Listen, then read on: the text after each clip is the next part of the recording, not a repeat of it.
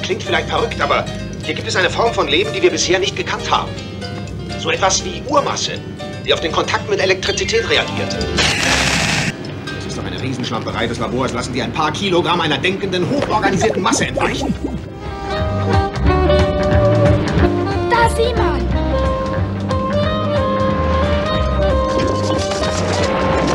Ich glaube, ich lade mich auf. Ich mich auch.